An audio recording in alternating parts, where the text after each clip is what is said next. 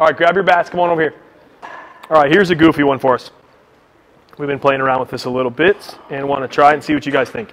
So, remember how we've talked about, we've said it a number of different ways. And Vogue, you can, you can tell me here in a second too on, on some of the things that, the ways that you've said it.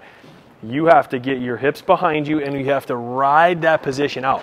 We want to stay in that tension as long as we can with our foot in the ground. Okay, and our head can go with it a little bit if we need to, but we can't go forward and lose the tension in our hip.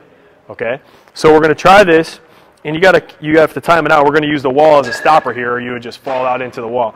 So your hands are in your spot. You're about shoulder width apart.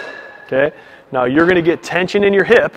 Okay, right? Like I've turned it. I have that tension. I'm hinging back and I'm rotating, and I'm going to let this go while my hands go back, and I'm going to maintain tension as I'm taking the slider to the wall. Okay, so our normal swings would look like this where we stand up out of it and lose that tension. Our goal in this is to keep the tension. We're turned, slow out to it, keep the tension, keep the tension. My head's going to stay where? With my belt buckle, right? I'm not trying to go this way, right? It's not a quad movement. We want it to turn, let it move so that we end up in the middle, but we're controlling that tension in our hip. Goofier way to try it. Hopefully it helps you guys feel it a little bit more. Okay? Slow and controlled. Here we go. Two guys in there to start. Go ahead, Davis. Measure it out a little bit so you know where you are at the end.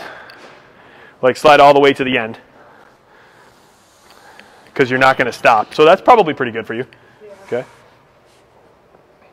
Good, Caden. Great drill for you here if we can figure it out. Turn that hip. Good. Keep that tension in your hip. Yes.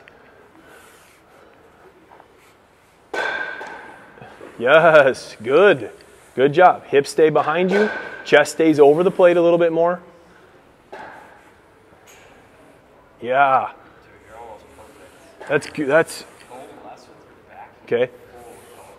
Okay. Move a little closer to the to the wall with both feet. There you go. Good. Get your